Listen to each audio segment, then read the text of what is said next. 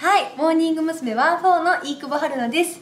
ただいまハロープロジェクトのコンサート真っ最中なんですけどもあの10分ぐらいでできるヘアアレンジを紹介したいと思います。私飯窪が紹介するのはあのたびたびやることが多いんですけど両サイドを編み込んでまとめる髪型です。見たことある方も多分いると思いますがやりたいと思います。あのちなみに飯久保髪の毛長いからその髪型をよくするんですけど実は5センチぐらい切ったんですよ。でも誰も誰も気づかなかったんです。ブログに今度書き書きたいと思います。じゃあ早速やりたいと思います。必要なのはコームとアメピンとちびゴムと前髪留めるピンとゴムです。まず髪の毛を2等分にしてその時にこうやってコームを使って真ん中をやるんですけどちょっと今はざっくりやっちゃいたいと思います。自分でやる時はしっかり真ん中で分けてください。で分けたら片方は編み込んだ時に巻き込まないために結んじゃいます。でこっちから始めるとして前髪も巻き込まないように留めておきます。あの編み込みには2種類あって表編みと裏編み込みっていうのがあるんですよ。で石田あゆみちゃんとかあと道重さゆみさんとかは表編み込みをやるんですけど私飯久保はそれが苦手で裏編み込みっていうのがあります。裏編み込みは表編み込みは上から上にこうやって髪の毛重ねていくんですけど逆に下に潜らせていくやり方です。そうすると裏編み込みの方は表編み込みに比べてあのー、髪の毛が盛り上がるんですよ。三つ編みが分かりやすく見えてきます。だってテンパってできない。ちょっとこれガヤ役の方とかダメなんですかね？工藤遥ちゃんあたりが来てくれると助かるんですけどでも今準備中で下にどんどんやっていきます。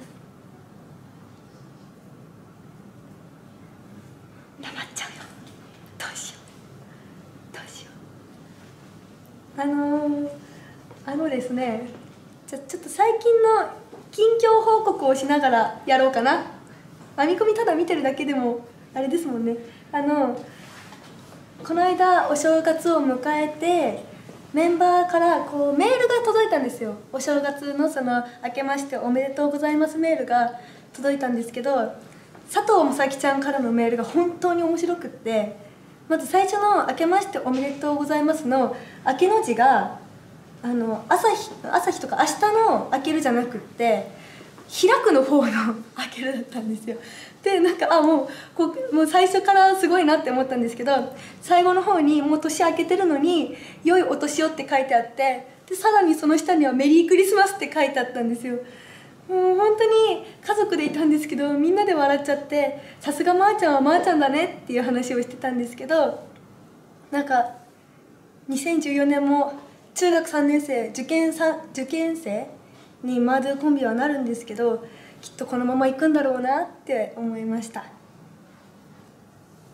い。どうしよう。思った以上に編み込みに時間がかかる。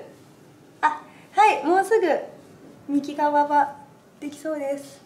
これを一番下まで編み込ん三つ編みしていきます。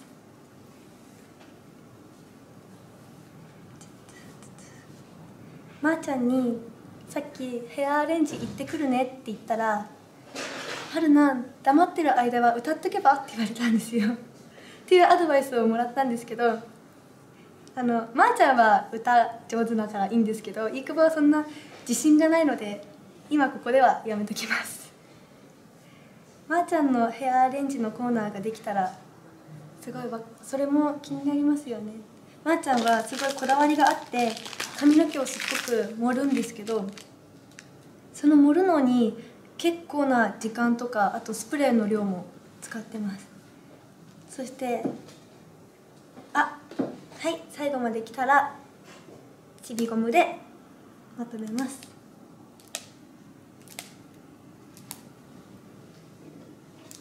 よし。まとめました。でもう片方いきます。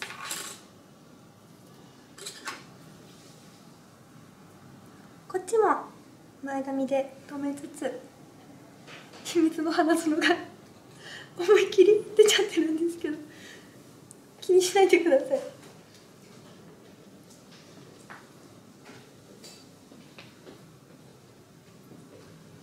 メンバーの髪型事情を言うと石田あゆみちゃんはあの、まあ、髪型もそうなんですけどすごくこだわりを持ってる子であの編み込みとかも何度も何度も自分が納得いくまでやり直すんですよ。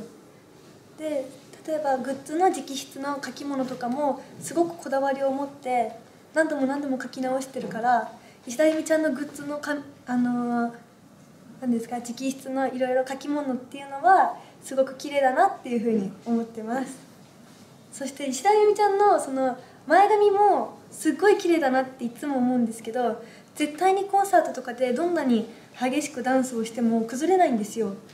すごく羨ましいなって思いますね。飯久保はすごく前髪が動きやすくて全然スプレーでやっても固まらないので悩んでるんですけどそれを前にマネージャーさんに相談したら あのこう私のおでこが広いからこう振り子と同じで振る幅が広いからだよっていうのを 言われてすごく自分でも納得しちゃいました。でもこのおでこが広いのには私理由があってあの以前ラジオでも一回お話ししたことあるんですけど私逆子で生まれてきたんですよ。でその逆子の時に最後に出てきたのがおでこだからきっとこう最後の最後で絞られてこうシュッて出たんじゃないかなって ポジティブに考えてます。ママにもそう言われたからまあいいかなって思うんですけど。あと工藤遥ちゃんはあれです。あの髪型短いからいつもコンサートの時に髪もう髪飾りが落ちないようにするのに必死ででよくこう休憩時間中とかに誰か編み込みやってっていう風にお願いしてるんですけどもう髪の毛短いから誰もできないんですよ。でみんなお手上げで結局自分でなんとか試行錯誤しながら頑張ってるイメージがあります。はいこっちも出来上がりました。止めます。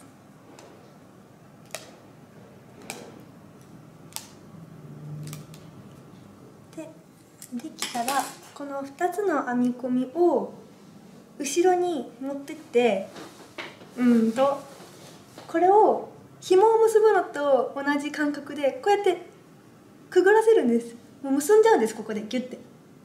あこっちにカメラがあった。ギュッて結ぶんです。映ってるかな？ギュッて結んじゃって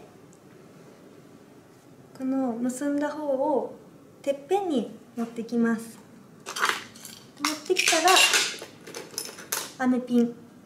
ピン止めで留めます。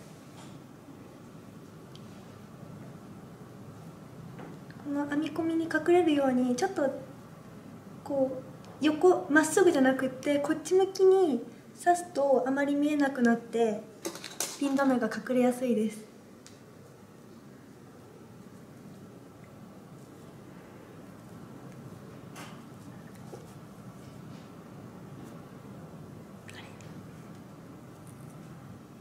いつもこの髪型をやるときこのピン止めを刺すのに苦戦しますね。でこっちが止まってもう片方も持ってきててっぺんでピン止めで留めます。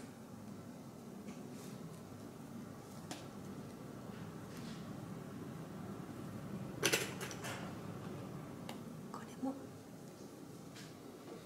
ピョンって出ないように留めながら。はいまとまりました。あこれで完成です。あとはあのヘアスプレーとかで固めたりあと後ろまだちょっと緩いなっていうところでピン止めで留めたりして完成です。これがいい久保がいい久保がよくするヘアアレンジです。終わります。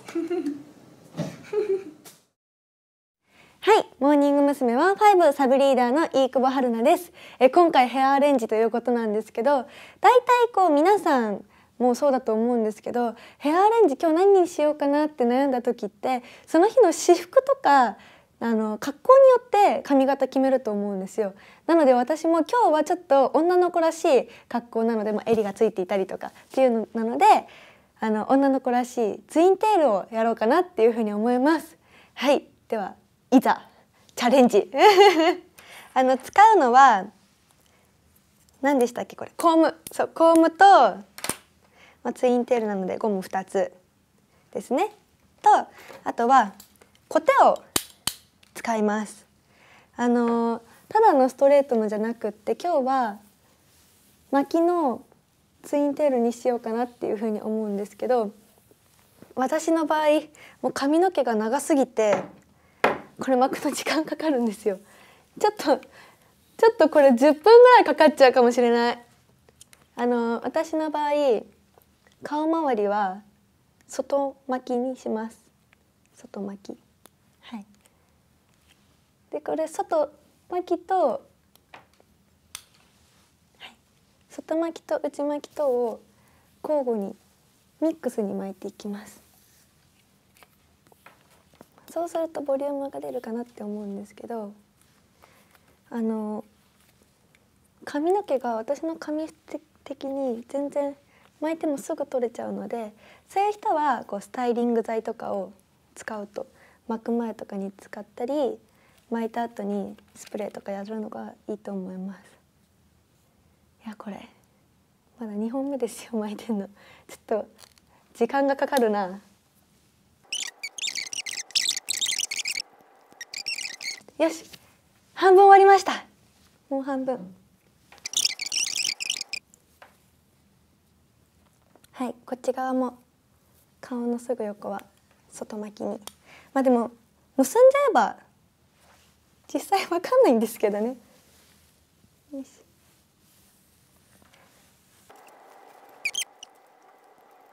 あのー、今日巻きのツインテール今やってますけどこれ割と珍しくって去年の夏ハロ以来とかかな。それからは割とずっとストレートのポニーテールだったりするんですけどストレートのポニーテール今日やろうかなっていうふうにも迷ったんですけどあのポニーテール今春ツアー終わって春ツアーでずっとやってたんですけど春ツアーでやってるポニーテールは高めのポニーテールを私していてそれはこだわりがあってそれもポニーテールだけどゴム2本使うんですよ。1本目で超きつく縛った後に2本目で高さを出すために上の方ゴムの上の方から結ぶっていうのやって高さ出してたりとかして割と髪型コンサートの髪型にもこだわり持ってやってます。ただ今日のこのツインテールなかなかやる機会ないのでプライベートとかだけですかね。巻いてツインテールするのは。でもこうプライベートもう私一応あの二十歳で今年21なのであ巻き終わった。はい巻き終わりました。なのでこうあんま高い位置でやったりとかしないんですけどはい巻き終わってちょっとこう手ぐしでボリューム出したらもうざっくり分けちゃいます。あんまりこだわらないです。はい分けて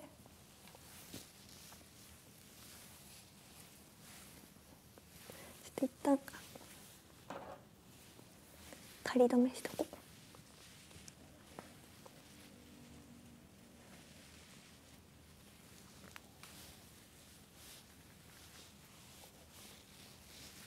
分耳の高さぐらいで結びますね。あ私今手ぐしでやってるけど最初にコーム使いますとか言ってコーム全然使ってないですね。多分使わないです。使わない。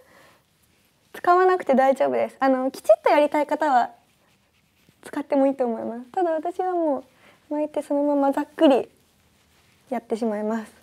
で結んだらちょっと緩めてあの大人っぽくするためにこう真ん中に指を入れます。2つのこの真ん中のところに。指を入れて分けたらこの分けたところにこの髪の毛をくるんとひっくり返して入れ込みます。あのストラップとかつける時にやる方法ですね。はい。あ超盛り上がっちゃった。失敗した。まあいっか。やり方やり方紹介なので。でもう片方の耳の高さで。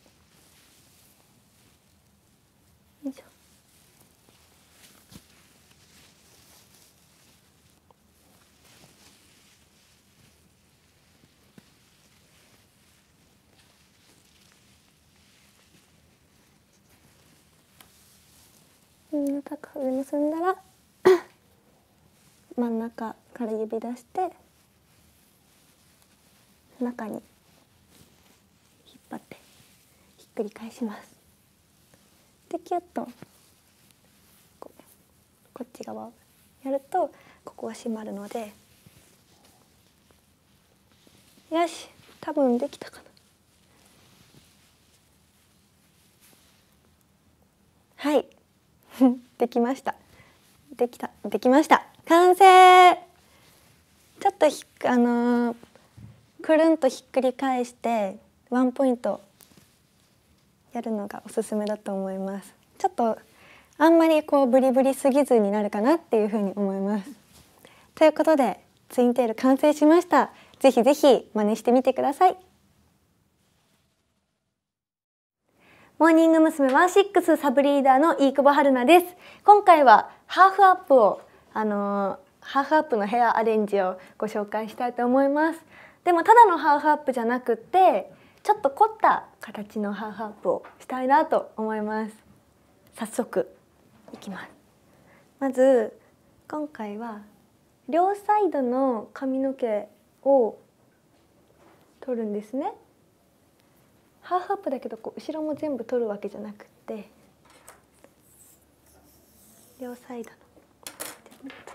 これはひとまず仮止めしておきます。分かんなくなっちゃうから。でこの時のポイントは耳の上の髪の毛は残しておくんですよ取らずに。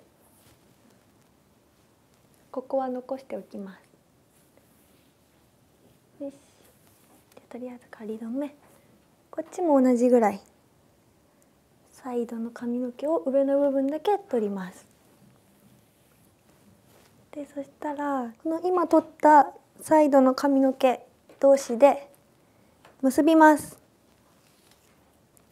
ここがねちょっとこう難しいというかてっぺんは取ってないから難しいんですけどもこうボサってなっちゃったりとかするからそういう時はヘアスプレーでこう固めながらきれいにしていってください。今とりあえずやり方ご紹介なので。よいしょ。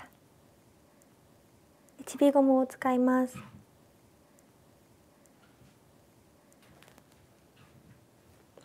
ちびゴムで後ろを止める。結べました。今はこれただのハーフアップなんですけどもここからは真ん中さっきの両サイドのとこからくるりんぱをします。こうちょうど2つ分けたところから上からですね。上からこうくるりんぱをすると。1回だけ。くるりんぱしました。わかるかな？今くるりんぱした状態です。でさらにさっき取らなかったこの耳の上の髪の毛を取って。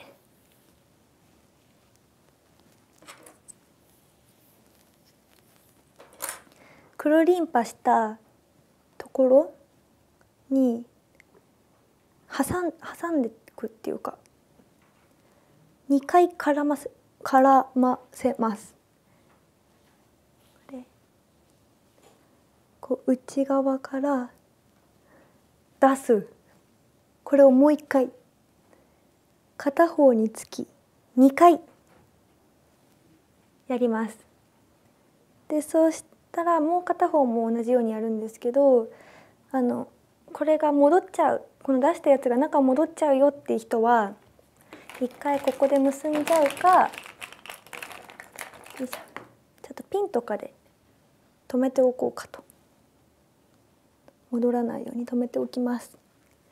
でもう片方も同じように耳の上の残してた髪の毛を取ってくぐらせる。と下から上に出す。もう一回。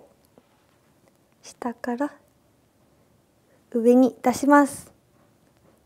出したらさっきのピンで留めたと髪の毛ピン取ってピン取ってまあどこにいるかな。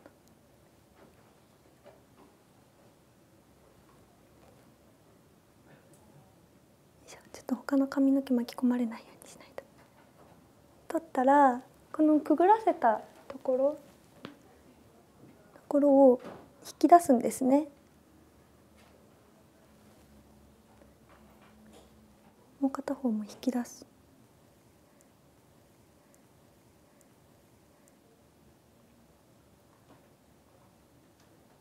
引き出したらさっきハーフアップで結んだところゴムがあるところと同じところでもう一回ちびゴムで結びます。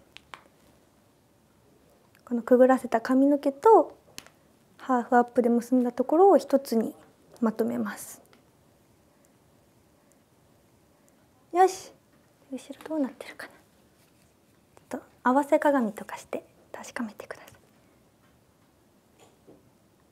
あれ？大丈夫かな？やり方としてはこれで合っているんですけども。あ今ちょっとほわほわしてるんですけどこれもヘアスプレーで固めてきれいにしてください。でゴムがあらわになってるのでそこにはこうお好きなバレッタとかでバレッタを止めてゴムを隠していただければ完成です。はいということで以上ちょっと普段とは違うあの大人っぽいハーフアップのご紹介でした。ぜひやってみてください。飯久保春菜です。え今回ご紹介するのはあのただ簡単な三つ編みなんですけどもちょっとひと手間加えるだけでものすごく凝ったように見えるテクニックをお教えしたいと思います。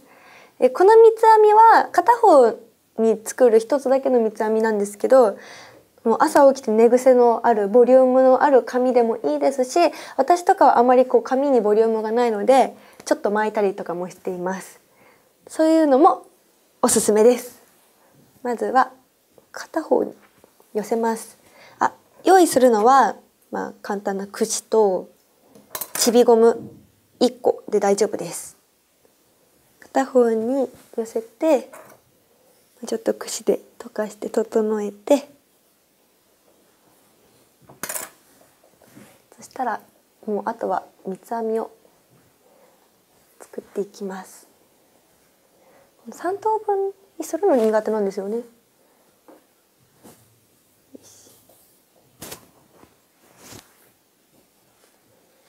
つ編み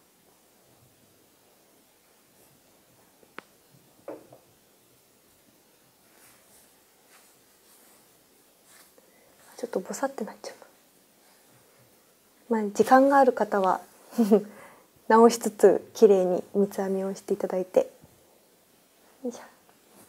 でもこれ本当に簡単で多分朝の忙しい時間でも5分とかでできちゃうと思うんですよね。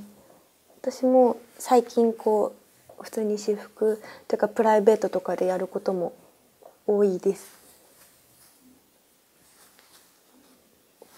つ編み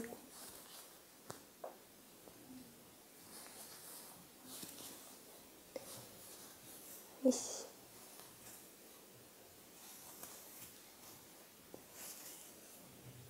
こう最後の方まで編んでいきます。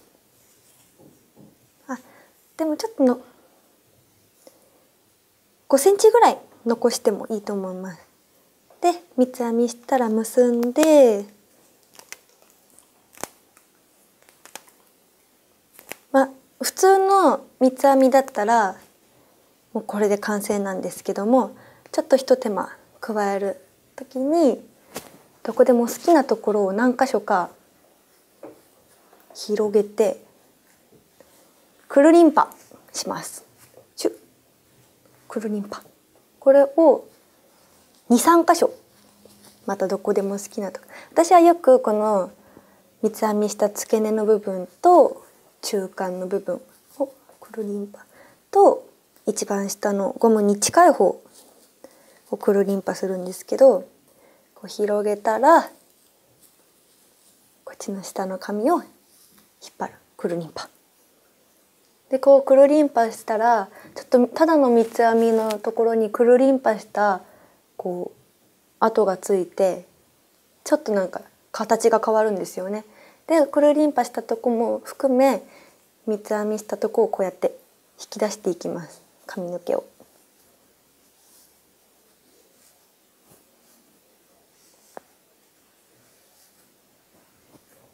引き出してふんわりさせていきますね。よし完成簡単わかりますかねただの三つ編みとちょっと形が違うんですよ。でこうやって作った後に例えばこういうピンを使います。ゴールドピン。ゴールドピン。まあ、まあ、適当に3本とか。あとこれは私石田由美ちゃんからお誕生日にいただいた星のピンですね。とかを例えばこっち側こうやってなんか余って出てきちゃった毛とかもあるのでこっちはこのゴールドピンで留めて、まあ、目立つピンだから何本かこう適当につけるの可愛いと思います。つけてでたなんだろうこのお星様のはこう後ろから見た時に見えるようにまあこことかでもいいと思うんですけどどこでも私は三つ編みの編み込んだとこにつけてかりますかね？後ろに。ワンポイント。で完成です、えー、もう本当に今見ていただいた通りすぐできるちょっとひと手間加えるだけでさらに可愛くなるのでぜひぜひおすすめです。真似してみてください。以上飯久保春菜でした。どうも。モーニング娘。ワンセブンの飯久保春菜です、えー、今回ご紹介する髪型はですねえっと私がこうたびたびやっているツインテールなんですけども普段私服っていうかプライベートの時もやるし撮影でもたびたびやること多いですね。をご紹介したいと思います、えー、まずもうあらかじめ髪の毛巻いておきます。もうどんな好きな巻き方でもいいです。内巻きでも外巻きでもランダムでも。巻いておいた方があの三つ編みした時にボリュームが出るんですよ。だからツインテールに限らずあの何ですか？普通の三つ編みとか編み込みでも巻いておくといいと思います。でまず用意するのがコームとコームと仮止め用のゴムとちびゴム2つです。じゃあ早速やりたいと思います。半分に分けて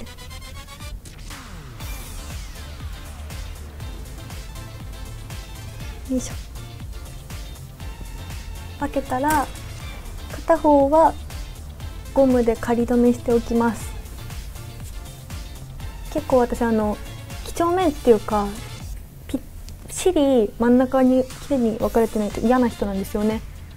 斜めてたりとかこう編み込みした時になんか向こう側から取れてるなみたいなのが嫌なのできっちりちゃんと分けて編み込みしていきます。私がこの髪型をやるときは編み込みは裏編み込みをしますね。ポコポコって表にこう髪の毛が出てくる。だから裏編み込みだからこの編み込みを下に持っていきます。最初私ここで編み込みせずにただの三つ編みをの同じ要領で23回ここで作るんですよ。まず上で。でそうしてから髪の毛を取っていきます。結構大きめのブロックで取ります。だから。耳の上だけで3ブロックぐらいにしちゃいますね。じゃあなんか近況話しますね。近況はモーニング娘。としては7月15日のハロープロジェクトのコンサートから、えーカントリーガールズから森戸知沙希ちゃんをが入り入りそう入り14人体制になりましたワンセブンが。あ待って上まで全部編み込みました。そしたら耳の後ろも結構大きめに取って。後ろからも多めに取ったら私的には最後手前側っていうんですか？こう手前後ろだとしたら手前側を最後に編み込んで終わりたいんですよ。の方がと綺麗にできる感じがして。はい。あとは先は三つ編みになります。耳から2個ぐらい。い1個半。2個ぐらい。で結んじゃっていいと思います。はい。じゃあもう半分やってきます。全く同じ要領で。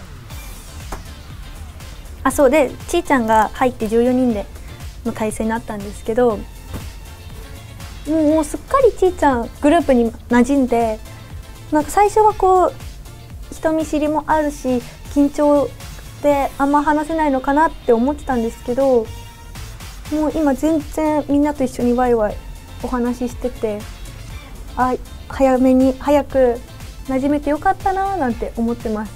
もうねちーちゃん可愛すぎて私メロメロですよメロメロ。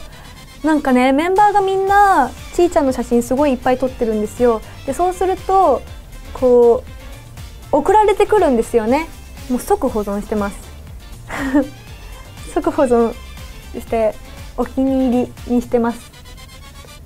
で私個人的には最近あのピクミンを買いまして。ゲームの。3DS のピクミンが出てもうずーずっと待ってたんですよ。ずっとピクミンが DS でも出てくれないかなって待ってたからようやく出てきてくれて本当に嬉しくってそうそうこうしてるうちに完成しましたここまで。反対側もできたら、えーこっちも耳の下から1個2個ぐらいのところで止めます。先にできた方と同じ高さですね。できた。これをお好みによってちょっとずつ引き出したりとかします。こう下から？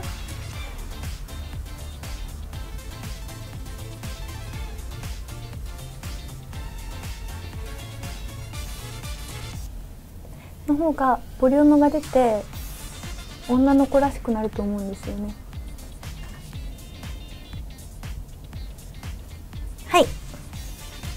完成。ちょっとなんかここら辺ボリューム出した方が可愛いかもしれないです。あの猫耳と同じ容量っていうか。はい。できました。ああコームが飛んでった。えーとにかく完成です。はいあのこれをよくやってます。まあ下はゆる巻き、あちょっと黒服着てくるべきじゃなかったですね。あのゆる巻きになってるんですよ。ゆる巻きになってるから、まあ、最初に巻いた感じでこう可愛くなるし、ストレートのままやると結構ストーンってなっちゃってボリューム出ないし、後からここだけ巻くのが私ちょっと不器用でできないんですよね。だからこっちの方が手っ取り早くておすすめです。ぜひぜひ真似してやってみてください。以上、飯久保春菜でした。